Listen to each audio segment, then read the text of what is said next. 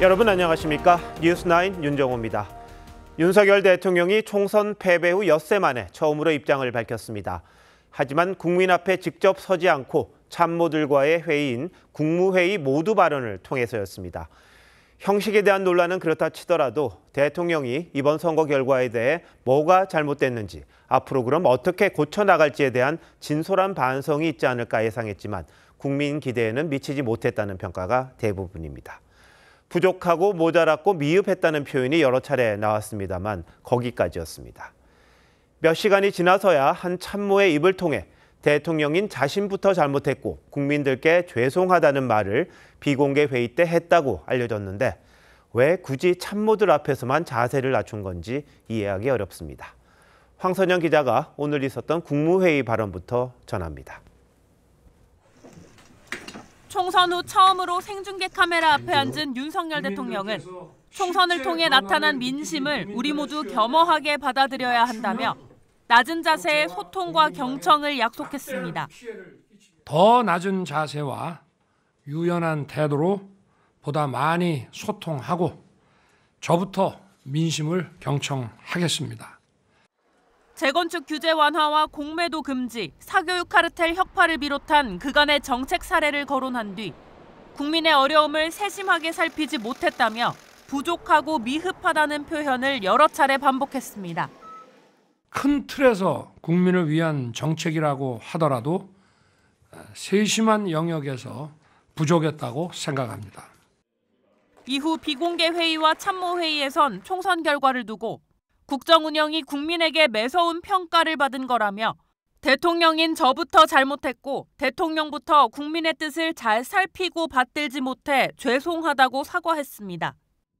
또 회초리를 맞는 순간을 모면하기 위해 용서를 구하기보단 무엇을 잘못했고 어떻게 해야 하는지 반성을 하는 게 중요하다고 언급한 것으로 전해졌습니다. 국민께서 바라시는 변화가 무엇인지 어떤 것이 국민과 나라를 위한 길인지 더 깊이 고민하고 살피겠습니다. 하지만 윤 대통령이 생중계 국무회의에서 총선 패배 관련 입장을 밝힐 걸로 예고된 상황에서 국무회의가 아닌 비공개 참모진 회의에서 사과한 건 국민 눈높이에 미흡했다는 지적이 나옵니다. TV조선 황선영입니다. 윤 대통령은 공개 발언 때 민주당 이재명 대표나 야당을 직접 언급하지 않은 채 국회와 긴밀히 협력하고 소통하겠다고 했습니다. 의료개혁 같은 기존 정책 과제는 멈추지 않겠다고 강조해 정부 운영에 큰 변화는 없을 것임을 시사했습니다. 다만 이재명 대표가 요구해온 영수회담에 대해 대통령실은 일단 모두 다 열려 있다고는 했지만 물리적 시간이 필요하다고 해 금방 이루어질 것 같지는 않습니다. 이어서 홍연주 기자입니다. 윤석열 대통령은 국무위원들에게 국회와 더욱 긴밀하게 협력해달라고 당부했습니다. 민생 안정을 위해 필요한 예산과 법안은 국회에 잘 설명하고 더 많이 소통해야 합니다.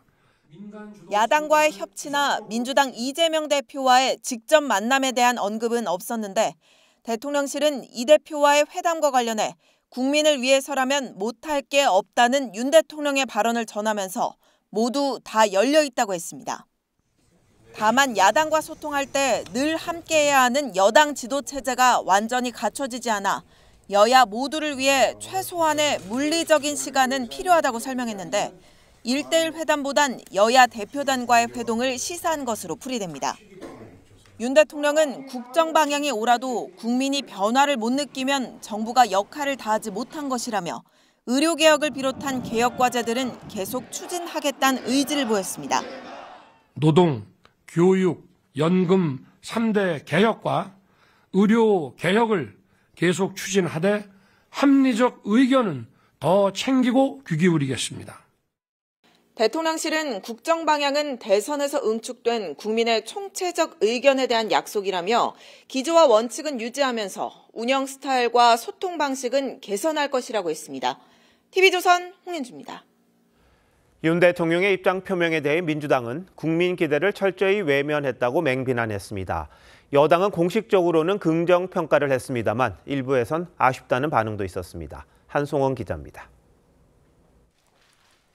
민주당은 윤석열 대통령 입장 발표 직전 야당과 협력하길 바란다면 민주당 정책을 수용하겠다는 의지를 밝혀야 한다고 요구했습니다. 민주당과 국민이 내미는 손을 윤석열 정부와 여당이 더 이상 뿌리쳐서는 안 됩니다.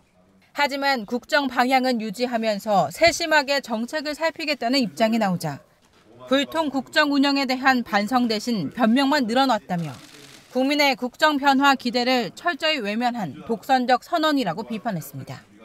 야당을 국정 파트너로 인정하라는 총선 민의에 대해서는 한마디 말도 없었습니다. 조국 혁신당 조국 대표는 윤 대통령의 발언을 요약하면 아랫사람들이 제대로 하지 않아 국민이 외면했다는 것이라며 문제는 당신이라고 썼습니다. 국민의힘은 민생을 최우선적으로 하는 국정 쇄신 방향이라는 공식 논평을 냈습니다. 국정의 우선순위는 첫째도 둘째도 셋째도 오직 민생이라는 제1의 원칙에는 변함이 없었습니다.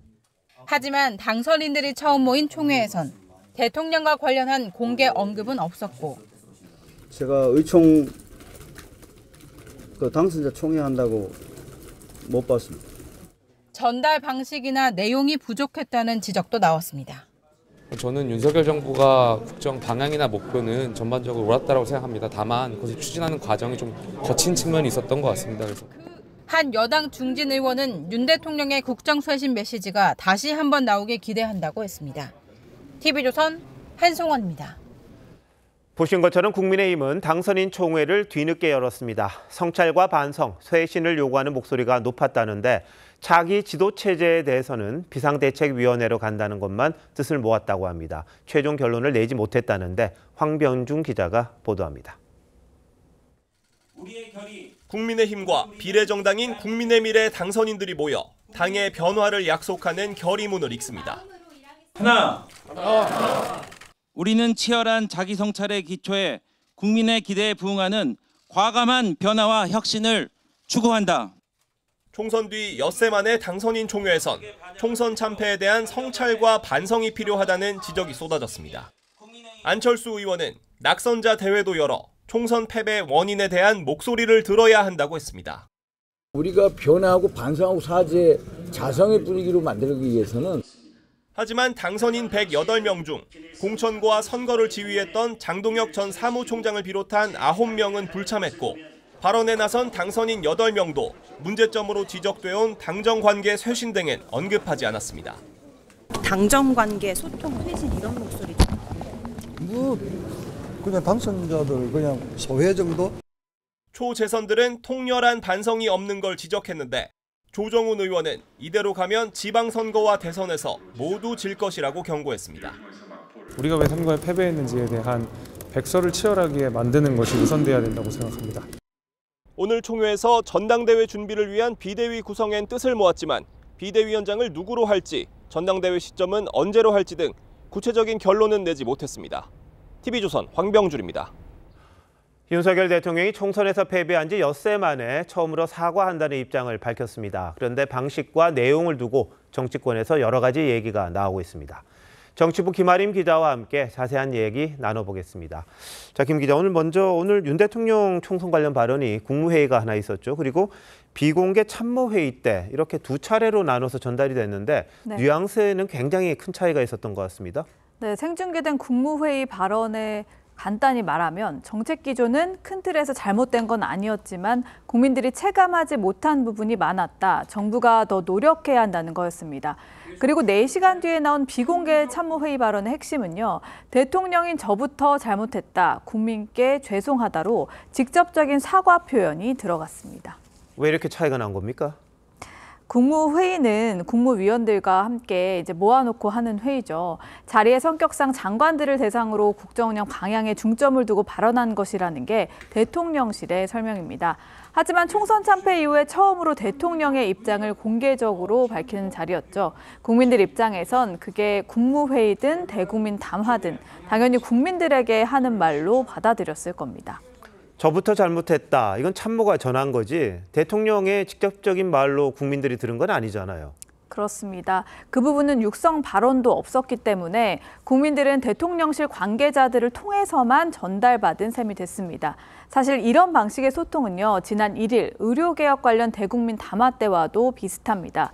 윤 대통령은 당시 담화에서 2천명 의대 정원이 최소한의 규모라고 했는데 그날 저녁에 성태윤 정책실장은 정치, 절대적 수치란 입장은 아니라면서 유연한 입장을 밝혔습니다.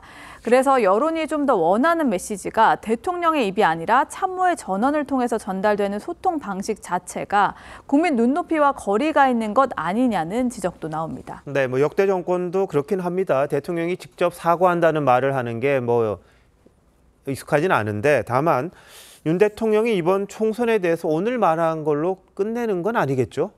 네, 대통령실은 추후에 대국민 담화나 기자회견 등 추가 소통 기회를 검토하겠다는 입장입니다. 다만 대통령의 메시지는 내용도 중요하지만요. 사실 타이밍도 상당히 중요하거든요. 그래서 오늘 발언은 아쉽다는 평가가 여당 내에서도 나옵니다. 네. 이번 총선 결과를 보면 야당과의 협치가 아주 필수입니다. 그 부분에 대해서 언급한 부분은 있습니까? 오늘 윤 대통령이 직접 야당을 언급한 부분은 없습니다. 네. 다만 국무회의 모두 발언에서 국회란 표현을 통해서 잘 설명하고 더 많이 소통하겠다고 했습니다. 자, 근데 민주당 이재명 대표는 계속해서 영수회담을 요구하고 있는데 어떨까요? 대통령실은 가능성을 완전히 닫지는 않았습니다. 하지만 앞서도 보셨듯이 야당 대표와의 단독 회담보다는 여당 지도부와 함께 만나는 형식을 선호하고 있기 때문에요. 야당이 요구하는 영수회담이 현재로서는 가능성이 좀 높다고 보기는 어렵습니다. 윤 대통령은 지난 2월에 방송 신년 대담에서도 여당 지도부 없이 만나는 건 곤란하다고 말한 바 있는데요. 이런 기조에서 크게 바뀐 건 아닌 듯합니다. 네, 어쨌든 오늘이 끝이 아니라고 하니까 윤 대통령이 또 적극적으로 어떻게 소통하는지 한번 지켜봐야겠군요. 김 기자 잘 들었습니다.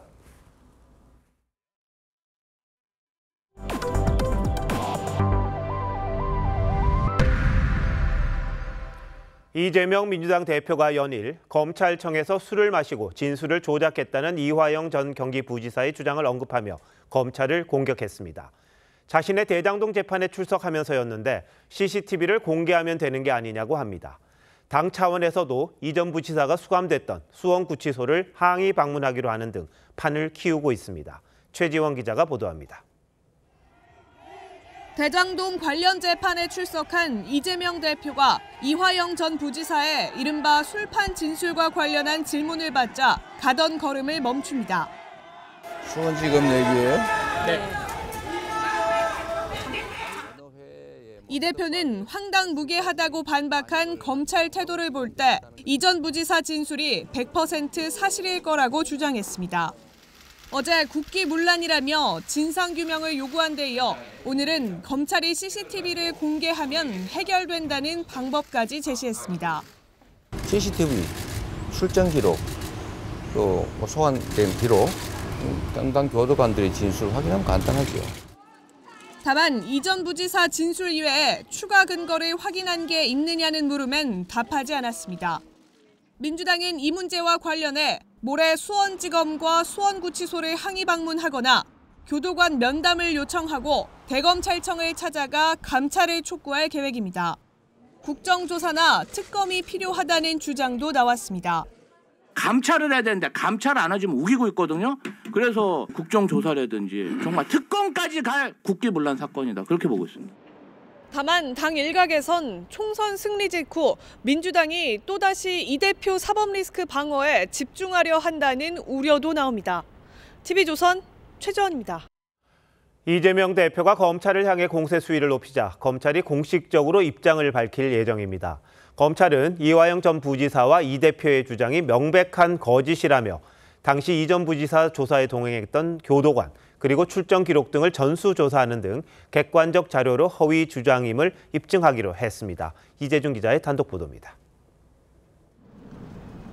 검찰이 이재명 대표와 이화영 전 부지사의 검찰청 술판 주장을 반박할 객관적 자료 준비에 들어갔습니다. 검찰 고위 관계자는 TV조선에 당시 이 전 부지사 조사에 동행한 교도관들을 전수 조사 중이라며 진술 내용을 공개하는 방안도 검토 중이라고 했습니다. 교도관들은 수감자가 검찰청을 비롯한 외부에 나가면 24시간 밀착 동행해야 합니다. 검찰 관계자는 또 김성태 전 쌍방울 회장을 비롯해 이 전 부지사가 함께 술을 마셨다고 지목한 두 명의 검찰 출석 기록도 확인 중이라고 했습니다. 다만 이 전 부지사가 술을 마셨다는 조사실엔 CCTV는 없는 것으로 알려졌습니다. 앞서 수원지검은 이전 부지사가 검찰청에서 술을 마시며 진술 조작을 회유당했다고 주장하자 지난 13일 절대 상상할 수 없는 황당한 주장이라고 반박한 바 있습니다. 대검찰청도 대응할 가치가 없는 주장이란 입장이었습니다. 하지만 이 대표와 민주당이 연일 공세 수위를 높이자 적극 대응 기조로 전환한 겁니다. 검찰은 출정 기록과 교도관에 대한 전수조사가 끝나는 대로 공식 입장을 밝힐 계획입니다. TV조선 이재중입니다. 민주당 정청래 최고위원이 조국혁신당 워크숍에 참석해 당선인들을 상대로 의정 활동에 대해 강의를 했습니다. 이를 두고 일부 민주당 지지자와 당원들 사이에서 왜 다른 당에 가서 강의를 하느냐고 항의를 했다는데 총선 승리 이후 두 당 내부의 신경전이 커지고 있습니다. 장세희 기자가 취재했습니다. 민주당 정청래 의원이 조국 혁신당 당선인들 앞에서 강연을 하는 모습입니다. 슬기로운 의정생활이란 주제로 조언을 한 건데 이재명 대표 지지자 커뮤니티와 당원 게시판은 제정신이냐 당대표에 나올 생각하지 말라는 비판 글이 올라왔습니다. 한 중진 의원은 적당한 거리를 유지해야 한다며 부적절하다고 했고 한 지도부 관계자도 정 의원이 자기 정치를 하고 있다고 지적했습니다. 국민의힘도 어, 초선들 제 강의를 원하시면 해줄 용의도 있습니다. 네. 열심히 의정생활하는 것은 국민들에게 좋은 거니까요. 12석 조국혁신당의 최우선 과제인 원내 교섭단체 구성을 놓고도 민주당 내에선 견제의 목소리가 나오고 있습니다. 앞서 민주당은 총선 기간 현행 20석인 교섭단체 구성 요건을 완화하겠다고 공약했는데 분위기에 변화가 생긴 겁니다. 원내 교섭단체 구성 요건을 완화할 필요가 있다고 생각을 하세요? 어, 현행은 계속 유지는 돼야 되겠죠. 의원을 갖다 꽂은다고 하는 것은 편법이고 있을 수 없는 일입니다. 정치 도의적으로 안 되는 일이고. 특검법 처리 등 야권 공조를 위해선 조국 혁신당과 우호적인 관계가 필요하지만 주도권을 뺏겨선 안 된다는 견제 심리가 동시에 작용하고 있다는 분석입니다. TV조선 장세입니다. 이란과 이스라엘 간의 군사적 긴장이 높아지면서 우리 금융시장이 요동치고 있습니다. 원달러 환율은 1년 5개월 만에 1,400원을 뚫었고 코스피는 2% 넘게 떨어졌습니다. 최수용 기자입니다. 원달러 환율은 시작부터 6원 가까이 올랐다가 오전 11시 반쯤 1,400원을 찍었습니다. 2022년 레고랜드 사태 이후 17개월 만이었습니다. 그나마 오후 들어 외환 당국이 환율 움직임을 예의주시하고 있다며 구두 개입하자 소폭 내린 뒤에 1394원으로 장을 마쳤습니다.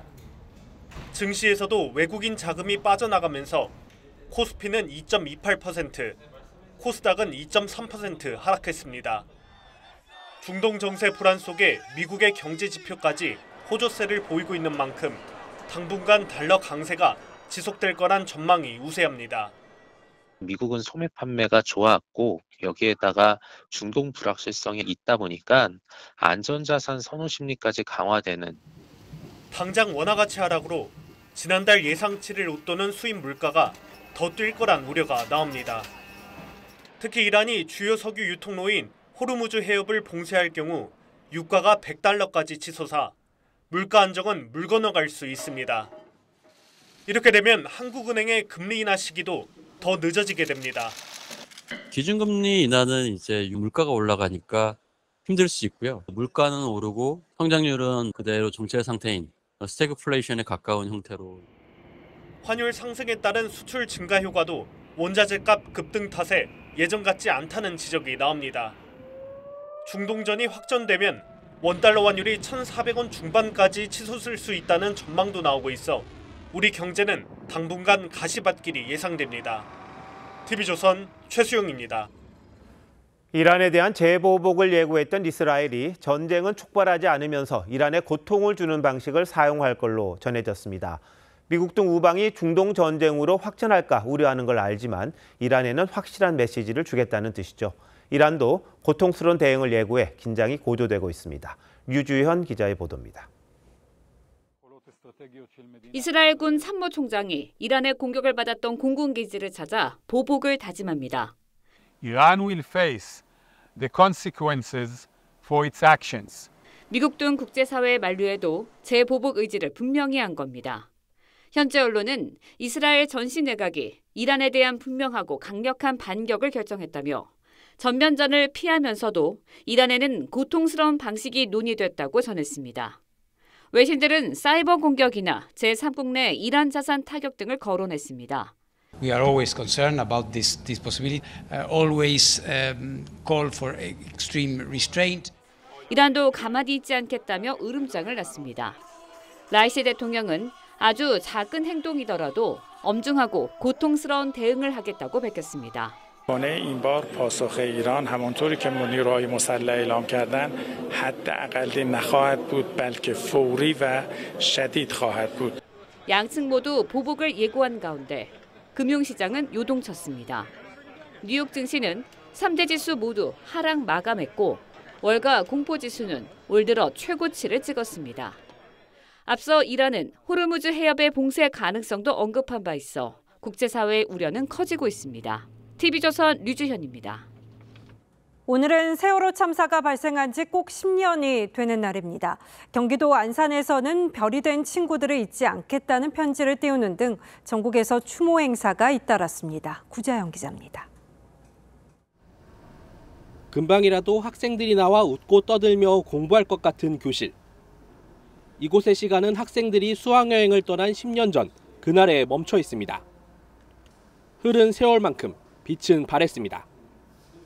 학생들의 흔적을 돌아보는 추모객들은 그날의 기억만큼은 바래지 않길 기원합니다. 잊지 말고 항상 기억하면서 우리 애들이 어, 미래 세대 우리 애들은 그 고통을 겪지 말고 좀더 어, 희망찬 그 나라에서 기억식이 열린 인근 화랑 유원지. 희생된 학생 250명을 잊지 않기 위해 한 명씩 한 명씩 이름을 가슴에 새깁니다. 김현정, 문지성, 동갑내기는 먼저 떠난 친구들에게 하늘에서는 마음껏 꿈을 펼치길 바란다는 편지를 띄웁니다. 별이 된 친구들아, 그곳에서는 그림도 그리고 노래도 만들고 하고 싶은 꿈들 펼치면서 평안히 무탈히 지내고 있길 기도해. 단원구 일대엔 오후 4시 16분부터 1분간 추모 사이렌도 울려 퍼졌습니다. 인천 가족공원에서는 45명의 일반인 희생자를 추모하는 행사가 열렸습니다. 단순히 303명의 영혼을 기억하고 추모하는 그런 행사가 아니라 또 하나의 제2의 세월호 정신을 선포하고 다짐하는 안타까운 참사가 벌어진 지 10년. 그리움과 위로, 새로운 다짐의 추모가 전국에서 잇따랐습니다. TV조선 구자영입니다. 참사의 아픔이 가장 큰 건 가족을 잃은 슬픔을 견디며 살아가고 있는 유가족입니다. 이들은 사고 해역을 찾아 오열했습니다. 박건우 기자입니다. 차디찬 바다를 향해 국화꽃 한 송이가 던져집니다. 세월호 사고 해역을 바라보며 유가족들은 사무치는 그리움을 한없이 쏟아냅니다. 아빠가 왔다. 네가 아빠 옆을 떠난 지 벌써 10년이다. 불러도 대답 없는 소리에 눈물만 한없이 흐를 뿐입니다. 좋은 세상에서 잘 살아라.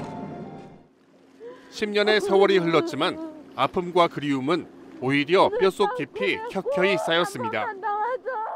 더 많이 보고 싶고 그립고 힘들어요. 힘들어. 그냥 버티는 게 힘들어요. 제주도 수학여행을 마치고 무사히 돌아왔다면 이제 20대 후반이 됐을 아이들의 모습도 떠올려 봅니다.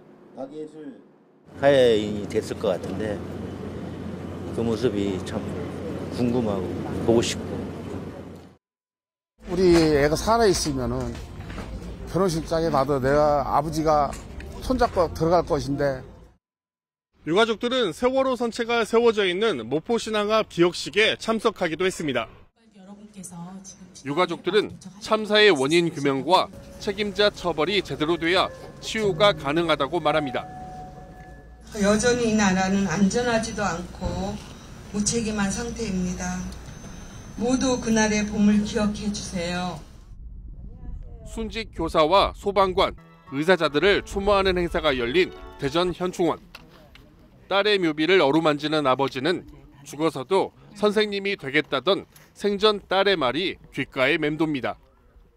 제자들 26명하고 선생님 하면서 행복하게 즐겁게 잘 지내리라 그렇게 생각하고 있습니다. TV조선 박고루입니다. 최태원 SK그룹 회장과 노소영 관장의 이혼 소송 항소심이 열렸습니다. 두 사람 모두 재판에 출석했는데 양측은 2조 원 재산 분할을 놓고 경론을 벌였습니다. 정준영 기자입니다. 이혼 소송 항소심 최종 변론을 앞두고 노소영 아트센터 나비 관장이 먼저 법원에 들어섭니다. 사실 심리 공개 예정인데 마지막으로 어떤 주장하실 계획인가요? 재산 분할 금액 2조 원대로 증액하신 이유는 뭔가요? 잠시 뒤 최태원 SK그룹 회장도 재판정으로 향합니다. 실형 어떤 말씀 부탁드립니다. 잘하고 나오고 있습니다. 노 관장이 청구한 재산 분할 규모는 현금 2조 원입니다.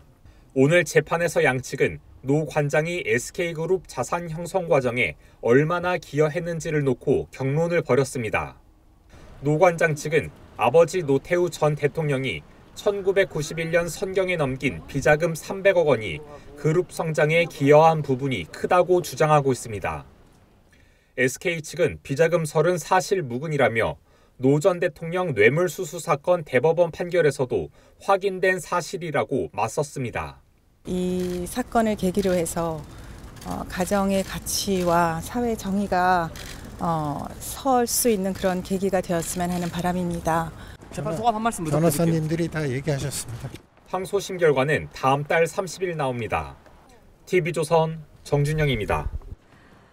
대통령실 용산 이전 과정에서 수의 계약 논란이 제기됐었는데요. 감사원 감사 과정에서 일부 비리 정황이 포착되면서 검찰 수사로 이어졌고 검찰이 당시 방탄유리 시공을 맡았던 업체를 압수수색한 것으로 확인됐습니다. 검찰은 관련해서 계약을 담당했던 경호처 간부에 대한 수사에도 착수했습니다. 윤재민 기자의 단독 보도입니다. 감사원은 시민단체의 고발로 2022년 12월부터 대통령실 이전 공사계약에 관해 감사해 왔습니다. 무리한 수의 계약에 따른 국가계약법과 조달사업법 위반과 특혜혹이 따라붙었다. TV조선 취재 결과 감사원은 21억 원대 방탄유리 시공 수의 계약을 따낸 업체 관계자와 대통령 경호처 부장을 검찰에 수사 의뢰한 것으로 확인됐습니다. 감사원은 감사가 끝나지 않았지만 증거인멸 가능성을 우려해 관련 자료도 검찰에 넘긴 것으로 알려졌습니다. 이에 검찰은 지난해 11월 방탄유리 시공업체 본사와 공장을 압수수색하고 업체 관계자들을 불러 조사했습니다. 검찰은 공사 비용이 부풀려졌는지, 업체 관계자가 경호처 부장에게 금품을 건넸는지 등을 들여다보고 있습니다. 이제 감사 조사 진행 중에 있고 감사원 보고에 관련된 이제 결과가 나오지 않은 상태에서 저희가 이렇다 아니다라고 말씀드리기가 굉장히 곤란합니다. 대통령 경호처는 TV조선에 A 부장을 대기 발령했다며 검찰 수사 결과에 따라 필요한 조치를 취할 예정이라고 밝혔습니다. TV조선 윤재민입니다. 서울 동대문 일대에서 전세 사기를 당했다는 대학생이 속출하고 있습니다. 이 경희대와 외대 학생 등 최소 80명이 피해를 본 것으로 파악되는데요. 일대 200실의 원룸 등을 소유한 집주인은 일시적 자금난 때문이라고 해명했지만 피해 신고가 잇따르면서 경찰이 수사에 착수했습니다. 곽승한 기자의 단독 보도입니다.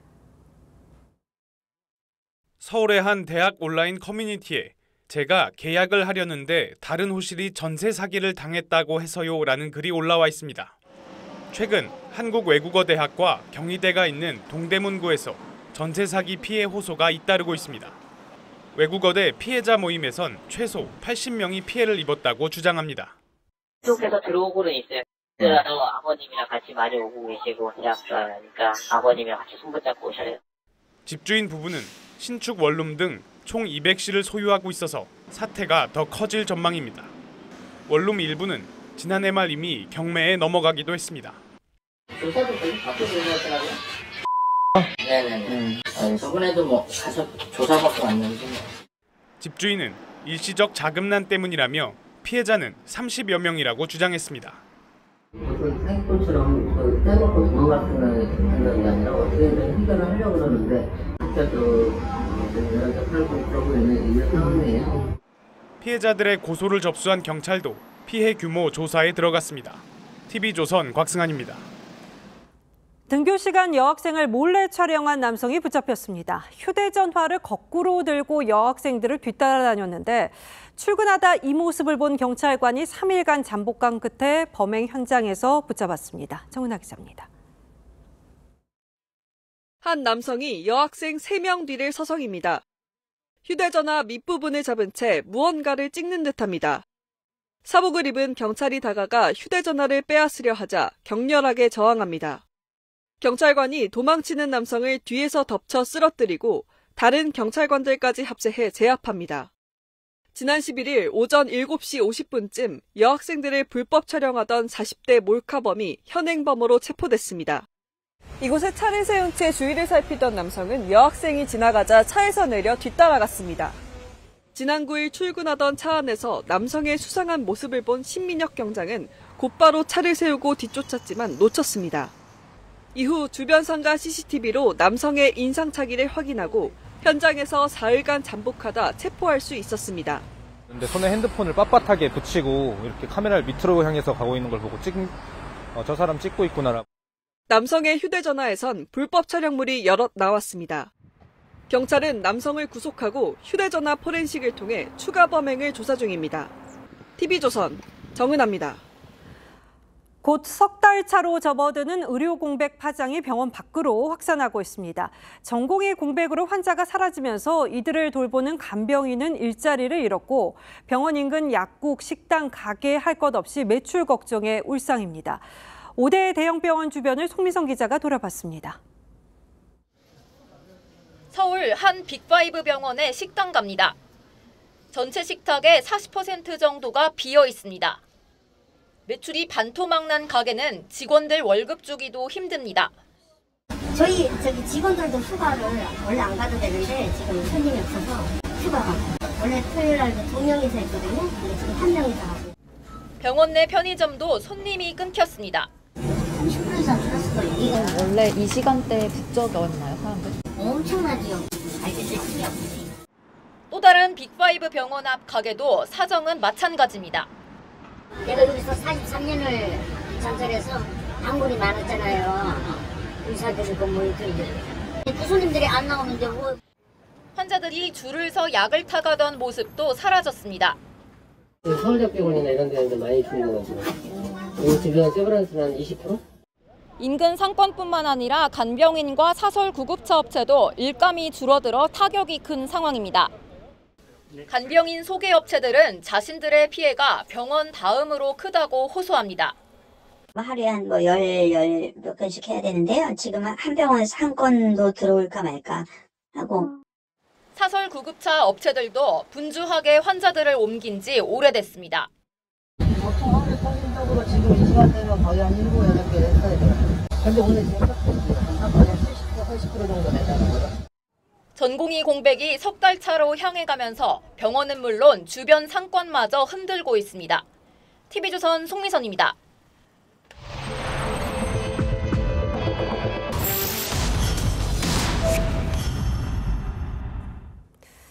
시속 30에서 50km로 속도를 제한해서 노인 보행자를 보호하는 구역이 있습니다. 전국에 3,600여 곳에 달할 정도인데요.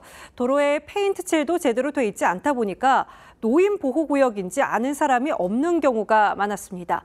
또 어린이 보호구역과 달리 단속 카메라도 거의 없었습니다. 소비자 탐사대 조유진 기자가 고령자 보행 안전을 점검해봤습니다. 걸음이 불편한 노인들 사이로 차량이 빠르게 지나갑니다. 스쿨존처럼 노인보호구역에서도 차량 속도를 시속 30km 이하로 줄여야 합니다. 하지만 노인보호구역이 있는지 모르는 운전자가 대부분입니다. 여기 노인보호구역인 거 알고 계셨을까요? 아니요. 잘안 보여가지고 맨날 잊어버리는 것 같아요. 관리 부실로 바닥에 칠해진 페인트 표시는 지워져 보이지 않습니다. 단속 카메라도 없어 노인보호구역이란 이름이 무색합니다.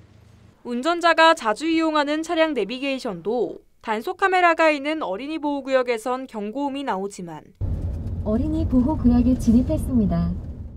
상당수 노인 보호구역에선 속도를 늦추라는 안내조차 없습니다. 취재진이 서울 시내 노인 보호구역 한 곳에서 30분간 속도를 측정해 보니 시속 30km 제한 속도를 어긴 차량이 15대나 됐습니다. 그 어린이하고 똑같이 그렇게 운행을 해야 되는데 사람들이 그걸 잘 모르시더라고요. 4년 전 이른바 민식이법 시행으로 어린이 보호구역 내 단속 카메라 설치는 의무화됐지만 노인 보호구역에선 선택 사항에 불과합니다. 지난해 65세 이상 고령 보행자 사고는 1,921건으로 전년 대비 4.7% 늘었습니다. 지난해 길을 걷다가 차량에 부딪혀 목숨을 잃은 보행자 10명 중 6명은 65세 이상 고령층이었습니다. 과속 방지턱, 무단횡단 방지 펜스, 아, 요 정도가 필요할 것 같고요. 싱가포르처럼 노인보호구역 내 과속방지 시설 설치를 의무화하고 고령 보행자가 횡단보도를 여유 있게 건널 수 있게 신호등 시간을 늘려야 한다는 지적이 나옵니다. 소비자 탐사대 조유진입니다. 오늘 열린 대장동 재판에서 검찰은 이재명 대표가 2014년 성남시장 재선을 위해 남욱시 등 민간업자들과 결탁한 게 대장동 비리의 시작이라고 주장했습니다. 이 대표 측은 민간업자를 극도로 싫어한다며 혐의를 부인했습니다. 박한솔 기자입니다. 이재명 대표가 대장동 사건 재판을 받기 위해 법정에 출석합니다. 지난주 금요일 선거법 위반 재판에 출석한 지 나흘 만입니다. 오늘 재판에선 대장동 민간 사업자들과 이 대표 간 유착이 있었는지를 놓고 치열한 공방이 벌어졌습니다. 유동규 전 본부장은 지난 재판에서 이 대표가 화천대유 대주주 김만배, 남욱시 등 민간업자들과 유착 관계였다고 증언한 바 있습니다. 검찰은 이 대표가 2014년 성남시장 재선을 위해 남욱시를 위례 신도시 사업자로 내정했다며 남 씨는 그 대가로 시장 선거 자금을 지원했다고 주장했습니다. 또 유 전 본부장은 이런 과정을 이 대표에게 상세히 보고했다고 했습니다. 이 대표 측은 거액의 뇌물을 받는 등 민간업자들과 유착 관계에 있었던 건 유 전 본부장이라며 이 대표는 민간업자들을 극도로 싫어했다고 반박했습니다. 이 대표는 다음 주 화요일과 금요일 두 차례 대장동 재판에 출석해야 합니다. TV조선 박한솔입니다. 3년여 전 오촌 조카를 보좌진으로 채용했다 논란이 불거지자 철회했던 민주당 윤재갑 의원이 최근 그 조카를 다시 채용했습니다. 현행법은 사촌 이내 채용을 금지하고 있어 법 위반은 아닙니다만 남은 임기 두 달 동안 월급을 챙겨주려 한다는 윤 의원의 해명 어떻게 받아들여야 할까요? 이광희 기자의 단독 보도입니다. 민주당 윤재갑 의원은 지난 2021년 초 오촌 조카인 A씨를 보좌진으로 채용했습니다. 사촌 이내만 채용을 금지하고 있는 현행법엔 어긋나지 않지만 민주당 윤리규범엔 친인척을 보좌진으로 임명하지 못하도록 규정하고 있습니다. 논란이 되자 윤 의원은 A씨를 면직했습니다. 당시 윤 의원은 한 언론에 당의 윤리규범까지는 살피지 못했다고 해명했습니다. 그런데 지난달 A씨가 윤 의원실 6급 비서관으로 다시 채용됐습니다. 윤 의원은 남은 임기만이라도 혜택을 주려고 한 것이라며 법률상 문제가 없다고 했습니다.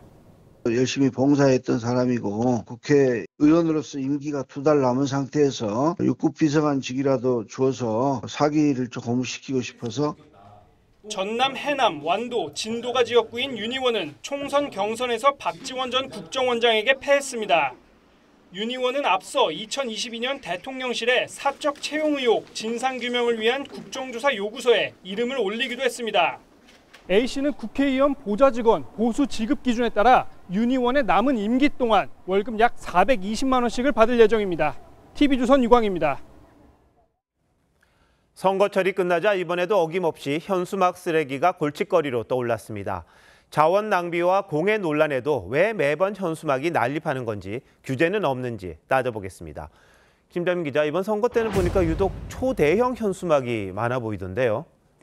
네, 이 정치권에서 합법적으로 걸 수 있는 현수막 수와 크기를 늘리면서 경쟁하듯 초대형 현수막이 등장했습니다. 이 전남 목포의 한 후보는 사무소 건물에 길이 100m에 달하는 현수막을 내걸었는데요. 최대 규모로 알려졌습니다. 수원의 한 후보는 15층짜리 건물 외벽 전면을 가리는 거대한 현수막을 펼쳤는데 주민들 사이엔 공포스럽다는 반응까지 나왔습니다. 당연히 도시 미관을 해치잖아요. 이 규격 같은 거는 없는 겁니까? 네, 선거사무소에 거는 현수막은 2005년 규격 제한이 사라졌습니다. 이때부터 건물 전체를 덮거나 휘감는 초대형 현수막이 등장했습니다. 이 정당의 정책이나 정치 현안을 담은 정당 현수막의 경우는 좀 다릅니다.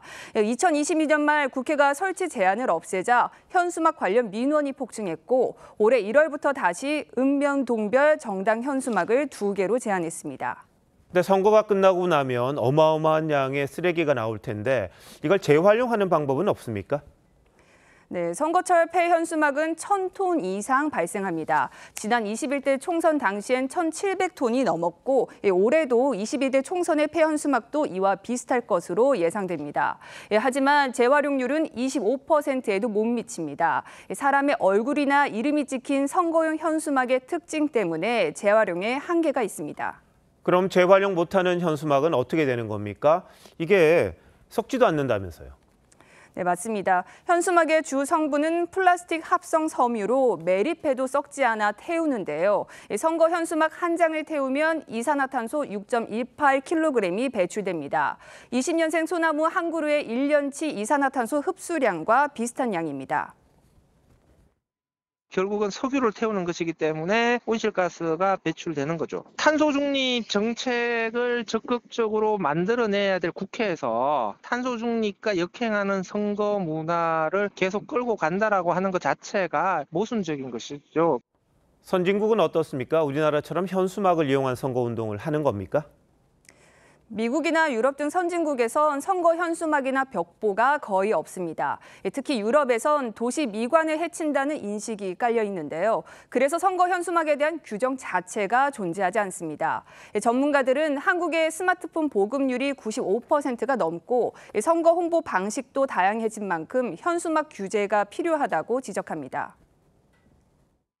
선거 보조금을 더 유용한 방법으로 써야 되는데 현수막을 거는 것보다 더 유용한 방법이 있을 수 있잖아요. 옛날에 해오던 형기적인 절차대로 쓰니까 이제 선거 운동의 효과는 없고 돈은 낭비되고 그런 상황인 거죠.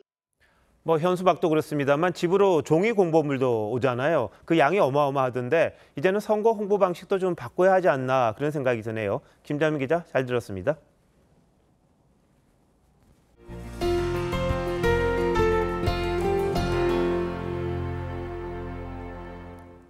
일본이 매년 발표하는 외교 청서에서 독도가 일본 땅이라는 억지 주장을 올해도 되풀이했습니다.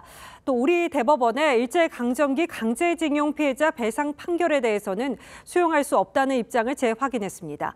이 때문에 일본이 14년 만에 한국을 파트너로 칭한 것도 형식적인 것에 불과하다는 비판을 피하기 어려워 보입니다. 김주영 기자입니다. 일본이 오늘 발표한 올해 외교 청서입니다. 독도는 역사적으로나 국제법상 일본 고유의 영토인데 한국이 불법으로 점거하고 있다고 썼습니다. 2018년 이후 7년째 불법 점거란 주장을 되풀이했습니다. 일제강점기 강제징용 피해 소송 관련해선 일본 기업이 배상하라는 한국 대법원 판결을 결코 수용할 수 없다고 밝혔습니다. 그러면서 지난해 우리 정부가 제시한 이른바 제3자 변제 해법에 대해선 상세히 설명했습니다. 제3자 변제는 일본 기업 대신 행정안전부 산하재단이 민간 재원을 통해 배상금을 지급하는 것으로 일본도 환영하는 방식입니다. 우리 정부는 일본의 독도 영유권 주장에 강력 항의하며 즉각 철회하라고 촉구했습니다. 독도에 대한 어떠한 부당한 주장에도 단호하고 엄중히 대응할 것입니다. 외교부는 주한 일본 대사관 총괄 공사를 조치해 엄중히 항의했습니다. 하지만 일본 정부는 이런 항의를 받아들일 수 없다며 재반박했습니다. 일본은 이번 외교청서에서 우리나라를 14년 만에 파트너라고 표현하며 협력을 강조했는데 억지 주장 또한 되풀이하면서 빛이 발했다는 분석이 나옵니다. TV조선 김주영입니다. 요즘 집이나 회사에서 정기적으로 냉동 도시락 배달시켜 먹는 분들 많죠. 귀찮게 요리할 필요도 없고 나름 식단 관리도 되기 때문인데요. 일부 제품에서 인체에 치명적일 수 있는 식중독 균이 검출됐습니다. 조덕형 기자입니다. 해물과 고기가 들어간 덮밥과 비빔밥부터 샌드위치와 스테이크까지 직장인들이 많이 찾는 구독형 냉동 도시락입니다. 전자레인지에 돌려 간편하게 먹을 수 있는 데다 매일 식단이 바뀌어 다이어트용으로도 인기가 많습니다.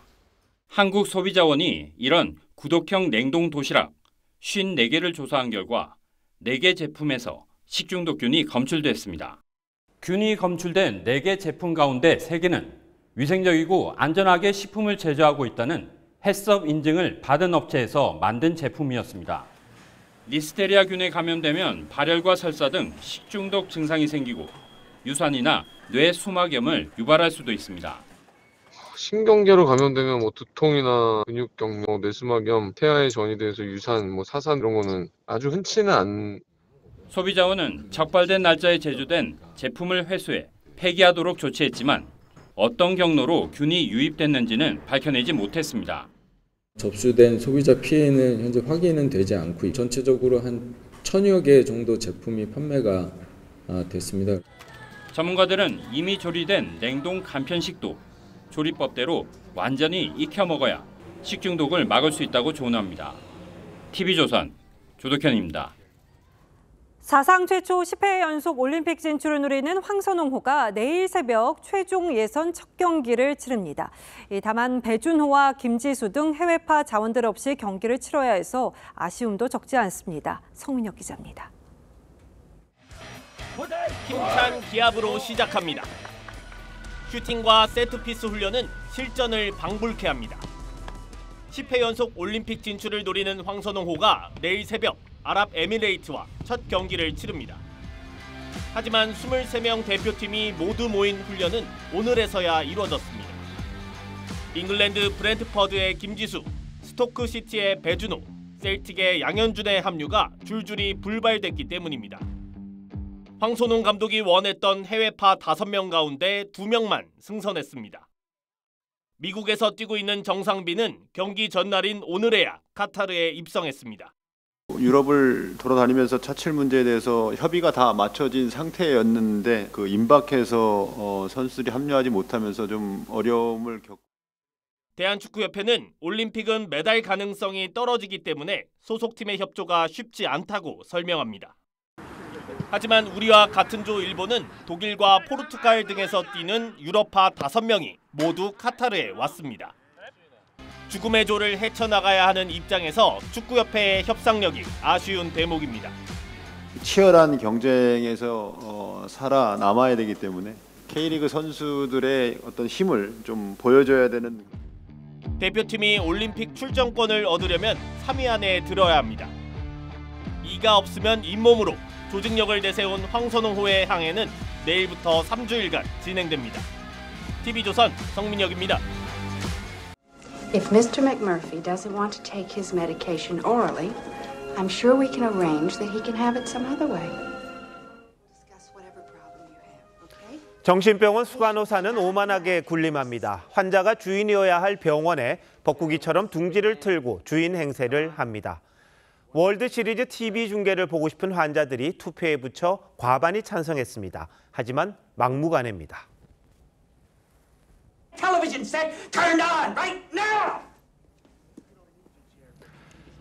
아기 머리를 쓰다듬는 강아지, 의젓하게 썰매를 타는 개, 이런 걸 주객 전도라고 하죠.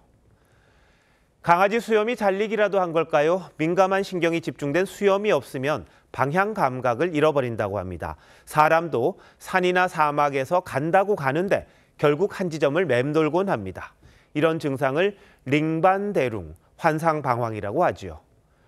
대통령이 민의의 심판에 따른 국정쇄신 메시지를 낸다고 해서 당연히 국민에게 밝히는 건 줄 알았습니다. 그런데 어리둥절합니다.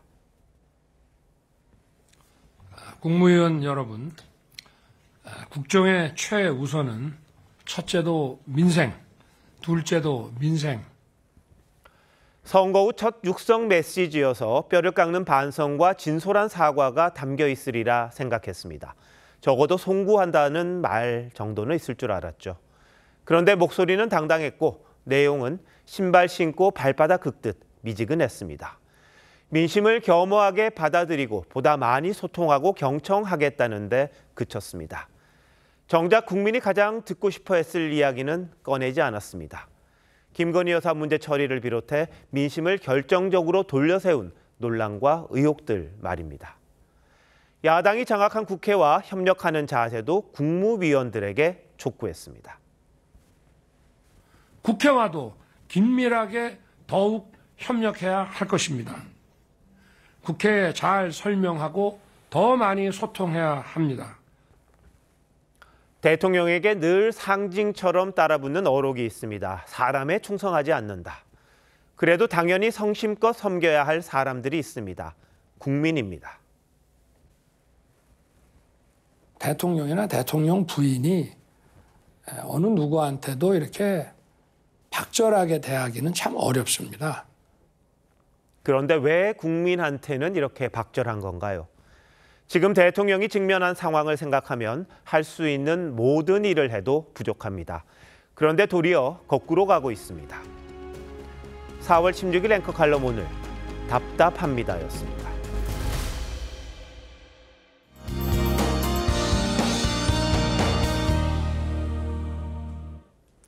비구름 뒤로 황사가 유입되며 공기질이 좋지 못합니다. 곳곳으로 미세먼지 주의보도 내려졌는데요. 모레까지 전국이 황사의 영향을 받아 공기가 탁하겠습니다. 호흡기 건강에 유의하셔야겠습니다.